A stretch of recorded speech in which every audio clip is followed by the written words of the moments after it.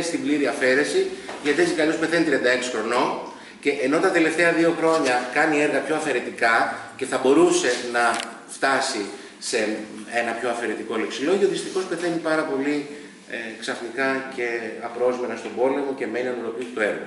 Όμως, έχει πολύ ενδιαφέρον να δούμε πώς κάνει αυτός αυτή τη μετάβαση από την παραστατική αρχική του αφετηρία στο θέμα της κυριαρχίας των χρωμάτων και των ρυθμών. Πολύ διαφορετικός από τον Καντίνσκι, αλλά μοιράζονται ουσιαστικά τις ίδιες αναζητήσεις που εκφράζονται με διαφορετικούς τρόπους. Λέγεται Φραντς Μάρκε, συνεργάζονται στο Αλμανάκ, εδώ, γεννήθηκε το 1880, πέθανε στον πόλεμο το 16, ε, στην αρχή κάνει όλοι αυτοί οι ζωγράφοι τα πρώτα τους έργα είναι πιο παραδοσιακά έργα με μια παλέτα γήινων χρωμάτων και με ένα πλάσιμο που είναι πολύ διαφορετικό. Θέλω να πω δεν, δεν ε, στην αρχή, στα 20 του, ας πούμε, ζωγράφιζε με τέτοιο τρόπο ο Φραντς Μάρκ. Πάντα όμως, ακόμα και στα παραδοσιακά τους έργα, είχε μια αγάπη για τα ζώα. Ο, ο, ο Μάρκ έχει κάνει τα ωραιότερα ζώα στην ιστορία της μοντέρνας τέχνης. Άλογα, γατιά, ε, σκύουροι, τίγροι, σελάφια, αντιλόπες, ε, πίθηκοι, αλεπούδες. Ε, κανένας δεν τα έχει ζωγραφίσει όπως τα έχει ζωγραφίσει. Αυτή του η έλξη προς τα ζώα είναι κατά αντιστοιχεία με την έλξη που είχαν οι άλλοι καλλιτέχνες προς την τέχνη των πρωτογόνων. Δηλαδή αναζητάς και εδώ το πρωτογενές και το ανώθευτο. Και όπως οι καλλιτέχνες της γέφυρας αναζητούσαν το πρωτογενές και το ανώθευτο στους πρωτόγονους ή στους λαϊκούς πολιτισμούς ο Καντίνσκι, αυτός το αναζητά στα ζώα. Οπότε εδώ αρχίζει με ένα τέτοιο λίγο πιο αδρό πράσινο του Φραντς Χάλς, ε, ύστερα επειδή έρχεται σε επαφή με τους φόβ, τους Γάλλους, φωτίζει την παλέτα του, αλλά συνεχίζει να είναι μια παραδοσιακού τύπου παλέτα και οι οργανώσεις του να κινούνται σε αυτές τις χρωματικές επιλογές. Γάτε, άλογα, γάτες, σκίουροι. Ο Μάρκ δηλαδή επικεντρώνεται περισσότερο στο φυσικό κόσμο και στον κόσμο των ζώων ως ο τόπος της πρωτόγονης ζωτικότητας. Λέει ο ίδιος, τα έργα μου στοχεύουν σε μια πανθεϊστική διείσδυση στην παλόμενη ροή ενέργειας στη φύση, στα δέντρα, στα ζώα, την ατμόσφαιρα. Ωραίο αυτό που λέει. Κρατάμε το πανθεϊστική ότι έχει μια πνευματικότητα, όχι ο Θεός εκεί ψηλά, ο Θεός που υπάρχει σαν ενέργεια μέσα σε όλα τα πράγματα που μας περιβάλλουν. Και το λέει τώρα, παλόμενη ροή ενέργειας, φύση, δέντρα, ζώα, ατμόσφαιρα. Τη φύση, δέντρα, ζώα, ατμόσφαιρα μας λέει αυτό που θα κάνει μετά, ότι θα προσπαθήσει να βρει χρωματικούς ρυθμούς να ενοποιήσουν όλα αυτά. Είτε να τα ενοποιήσουν συμφιλειωμένα, είτε να τα ενοποιήσουν συγκρουόμενα χρωματικό συμβολισμό. Τώρα, για να το κάνει αυτό, θέλει να πατήσει σε κάποιες αρχές. Επινοεί ένα χρωματικό συμβολισμό, που είναι λίγο αυθαίρετος, λίγο υποκειμενικός, αλλά τον βοηθάει να του δώσει ένα μπούσουλα. Λέει, ας πούμε, το κίτρινο, πώς θα αποτυπωθεί αυτή η ροή που λέω, η επαλόμενη ροή ενέργειας. Έτσι δεν γίνεται με improvisation. Άρα το μπλε για μένα είναι αυστηρό, είναι πνευματικό, είναι αρσενικό, το κίτρινο είναι ευγενικό, είναι αισθησιακό, είναι θηλυκό. Το κόκκινο είναι έντονο, είναι βίαιο, είναι βαρύ. Αυτά είναι λίγο αφαίρετα και μην τα λάβετε της μετρητής, γιατί όταν κατηγοριοποιούμε ένα χρώμα, του το περιορίζουμε. Είναι πολύ περιοριστικό αυτό το πράγμα. Απλώς το καταλαβαίνουμε σαν την ανάγκη πως ένας καλλιτέχνης, ο, ο Βαγκόγκ ας πούμε, έλεγε στα ένα γράμμα του, στον αδερφό του, ε, τέλειωσα το πορτρέτο μου και διαπίστωσα ότι κυριαρχούσαν όλοι οι ψυχροί τόνοι. Είχα χρησιμοποιήσει παντού τους τόνους του γκρι, του μπλε και του γαλάζιου και αισθάνθηκα την επιτακτική ανάγκη όπου κάπου χρειαζόταν ένα κόκκινο για να το ισορροπήσει. Έβαλα λοιπόν κάτω δεξιά μια μεγάλη κόκκινη υπογραφή. Δηλαδή έβαλε την υπογραφή κόκκινη γιατί εκείνη την ώρα αισθανόταν ότι χρειάζεται ένα κόκκινο για να ισορροπήσει. Άρα ο καλλιτέχνης, αυτά είναι τα, τα μέσα του, είναι το ρεπερτόριό του. Αυτός λοιπόν προσπαθεί να οργανώσει αυτό το ρεπερτόριο με αυτόν τον τρόπο. Και το κάνει επίσης και με δύο ειδών ε, σχεδιάσεις. Δουλεύει στα έργα που μας ενδιαφέρουν, στα πρώτα που σας έδειξα, με δύο τρόπους ας πούμε σχεδίασης. Ο ένας τρόπος είναι μια σχεδίαση ρευστή, οργανική και αέρινη, στοιχεία της οποίας δανείζεται από τον Καντίνσκι που τον αγαπά και συνεργάζεται μαζί του και από τον Ματής που έχει δει και συνεργάζεται μαζί του, έχει δει το Λουξ Κάλμερ του Λιπτέ, οπότε άρα αυτή η σχεδίαση είναι ρευστή, είναι οργανική, και δουλεύει με αυτόν τον τρόπο και ταυτόχρονα δεν είναι δύο περίοδοι, δουλεύει ταυτόχρονα αυτά τα δύο στυλ της ζωγραφικής. Αυτή είναι μια σχεδίαση ε, από την οποία είναι επηρεασμένος από το Πικάσο και τον Τελωνέ και τον ορθισμό, που δουλεύει περισσότερο με γωνιώδη σχήματα, με μια γεωμετρική αισθητική και αυτή βγάζει μια πιο εχμηρή και πιο αγωνιώδη, ε, ένα πιο αγωνιώδες σχεδιαστικό αποτέλεσμα.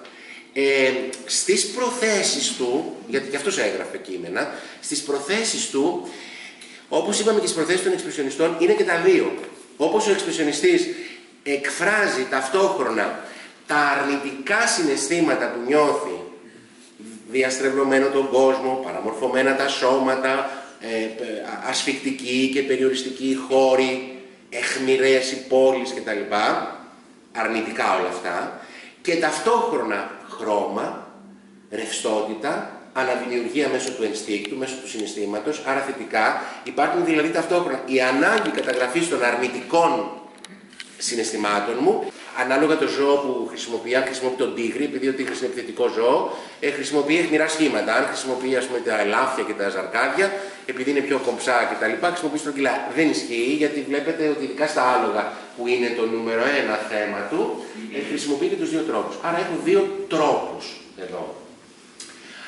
Εκείνη λοιπόν τη στιγμή πάλι, το 11 είναι και αυτό το έργο, την ίδια εποχή που Καντίνσκι έκανε τη μετάβασή του και την εποχή που αρχίζει η ομάδα του Γαλάζιου Καβαλάρη στο Μόναχο, περνάει και αυτός από αυτήν την παλέτα, τη θεματολογία την κρατά. Αλλά περνάει από αυτήν την παλέτα σε αυτή την παλέτα. Οπότε ξαφνικά αποδεσμεύεται όλο αυτό, γίνεται χρωματικό και καθώς γίνεται χρωματικό έχετε να δουλέψει με τους όρους που αναφέραμε βάζω το αλέγκρο του Προκόφιεφ.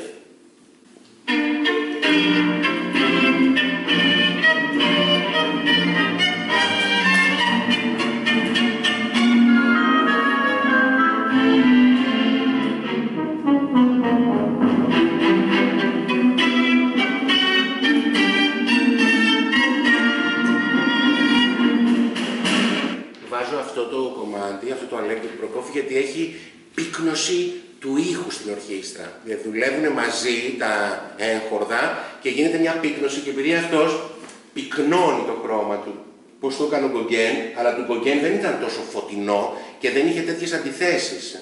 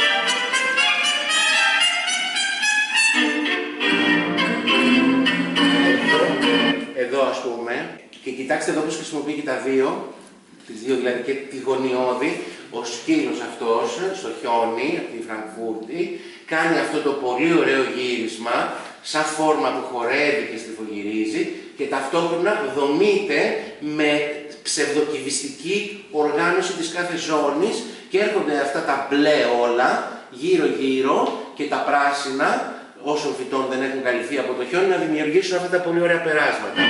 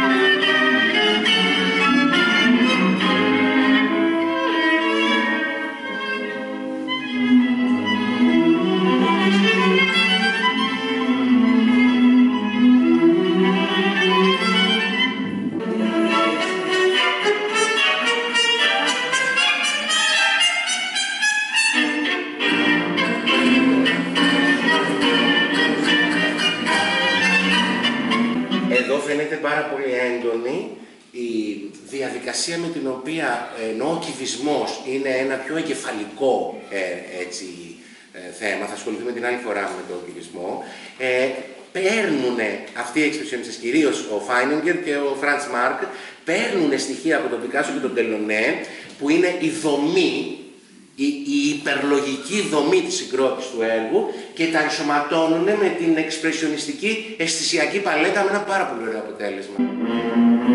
Εδώ πάλι με τον Προκόφιεφ έρχεται πάρα πολύ ωραία αυτή η σχέση μουσικής φόρμας και ζωγραφικής φόρμας.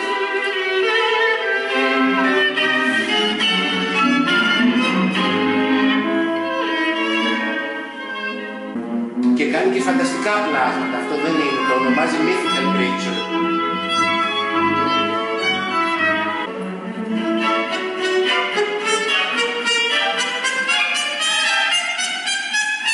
Αυτό ήταν η αφορμή και αρχίζει και γίνεται ένα αφαιρετικό παιχνίδι, δηλαδή και αυτός κάνει την ίδια εποχή τα βήματα αυτά προς την αφαίρεση. Το, δηλαδή τα χρόνια του Μάρκ είναι από το, 10, το 11 που αρχίζει με το 14 πεθαίνει ο άνθρωπος, τρία χρόνια ουσιαστικά είχε στη διάθεσή του να αποδεσμευτεί από την παραδοσιακή αντίληψη που είχε πριν και να αρχίσει να ζωγραφίζει με αυτόν τον τρόπο.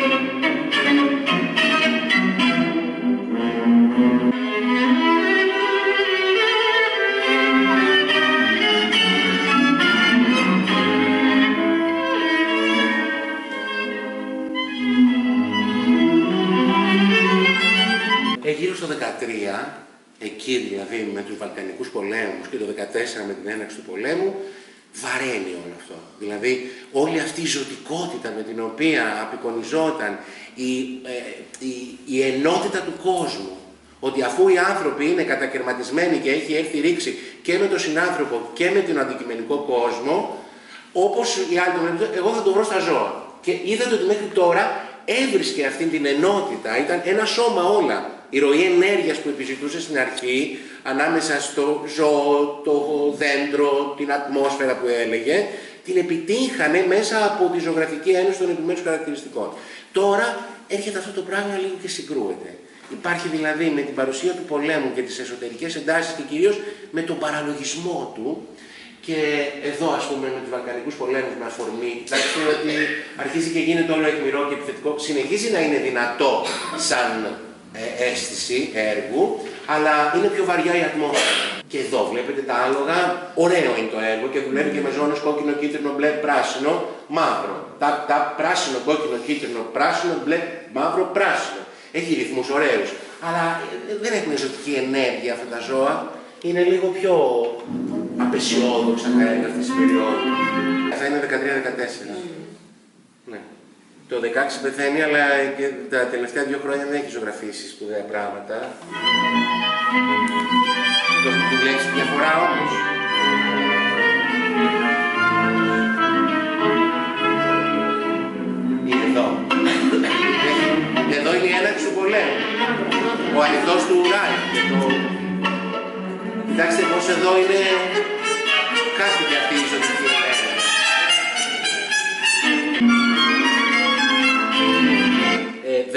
The Destiny of the Animals το λέει και η τίτλη ακόμα είναι η μοίρα των ζώων. Δηλαδή υπάρχει μια διάχυτη απεσιοδοξία, μα όταν ο άνθρωπος είναι στο μέτωπο και πολεμάει, λογικό δεν είναι. Και πάλι καλά που έχει την ικανότητα να μεταγράφει όλο αυτό με τις αναζητήσεις του, δηλαδή να το κάνει πάλι ένα έργο εξαιρετικά δυνατό. Αυτό, αν το δεις συνθετικά, έχει τόσες πολλές δυνάμεις που συγκρούονται μεταξύ τους, μπορεί να μην έχει τη χαρά, τα άλλα είχαν μια χαρά τα έργα. Δηλαδή όταν τα κοιτάς, παρότι το απλοϊκό του θέματος, τι είναι ένα άλλο, μια γελάδα, είναι, δεν είναι ε, έτσι εγκεφαλικά σύνθετα αυτά, ε, αλλά έχεις μια χαρά όταν τα κοιτάς αυτά τα έργα. Πώς το παθαίνουμε καμιά φορά με τα ζώα, που, που κοιτάμε ας πούμε τον όμορφο τρόπο που κινείται μια γάτα και απλά τη χαζεύουμε ας πούμε. Ή το πώς τρέχει ένα σκυλί, ή το πώς καλπάζει ένα άλογο. Το θαυμάζουμε αυτό γιατί δείχνει μια αρμονία. Ε, το, το γράφει ο Μάρκ μέσα στα κείμενά του. Λέει ο άνθρωπος στη σύγχρονη εποχή έχει γίνει σαν ανδρίκελο, σαν ευρώσπαστο. Έχασε την αρμονία της κίνησής του. Μόνο οι χορευτές την έχουν διατηρήσει. Ο μέσος άνθρωπος πηγαίνει σαν ρομπότ και σαν ευρώσπαστο. Τα ζώα όμως, έλεγε, την έχουν διατηρήσει. Οπότε βρίσκει αυτή την αρμονία. Κατά τη διάρκεια του πολέμου όμως, με τα προεόρια των Βαλκαλικών και με, τα, με την έναρξη του παγκοσμίου, ε, χάνεται η αρμονία. Αλλά είναι δυνατά τα έργα διότι εκφράζουν αυτή την επιθετικότητα με ωραίο τρόπο. Κοιτάξτε Και προς το τέλος, ε, κάνει μια σειρά από έργα που βγαίνουν με ένα τέτοιο, μόνο με φόρμες. Αυτό το λέει Fighting Forms.